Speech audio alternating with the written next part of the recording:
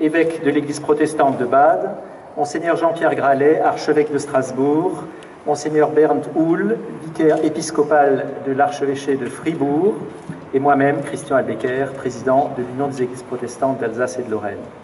Notre déclaration est une invitation pressante à nos gouvernements européens à prendre les décisions indispensables pour contenir le réchauffement climatique et réduire ses conséquences désastreuses au moment politiquement crucial de la conférence de Paris.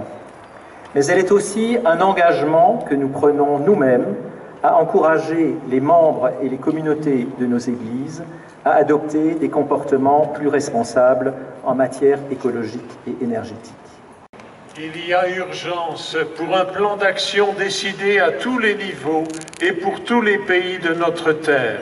Cela exige un engagement de toutes les citoyennes et tous les citoyens et de leur gouvernement. Nous, représentants des communautés religieuses chrétiennes d'Alsace, de Lorraine et de l'Allemagne du Sud-Ouest, nous sommes réunis devant le Conseil de l'Europe pour nous engager publiquement à participer à la lutte contre le changement climatique, mais aussi pour demander à nos gouvernements respectifs de prendre des mesures efficaces et courageuses au niveau européen et de les conforter dans ces choix.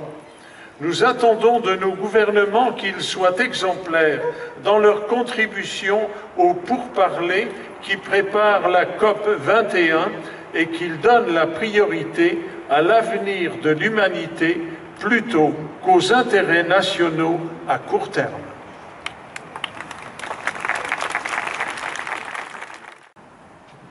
La conférence mondiale sur le climat, dite COP21, nous apparaît comme un événement d'une importance décisive. C'est l'avenir et le bien-être de toute l'humanité qui se jouera à Paris en décembre. Nous saluons le fait que la plupart des gouvernements ont montré dans les négociations en amont qu'ils sont conscients de l'enjeu. C'est pourquoi nous attendons du sommet de Paris un accord juste, efficace et contraignant pour tous.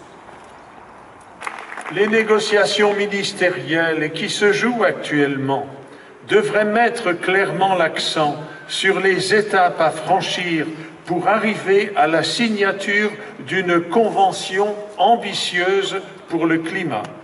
La politique climatique des pays membres de l'Union européenne devrait être ajustée tous les cinq ans au moins et ne pas exclure la problématique du transport aérien et maritime. Nous avons la conviction que l'Union européenne peut être le moteur essentiel dans la dynamique des négociations. Pour contribuer à ce changement d'orientation à l'échelle individuelle et communautaire, nous poursuivrons la sensibilisation à ces questions et expérimenterons de nouvelles pratiques vertueuses dans nos lieux d'église. Nous nous engageons à promouvoir une attitude responsable vis-à-vis -vis de la planète, notre maison commune. Et c'est dans notre foi et notre espérance que nous puiserons nos ressources pour aller de l'avant. Voilà la déclaration commune de nos églises chrétiennes d'Alsace, de Moselle et du pays de Bade.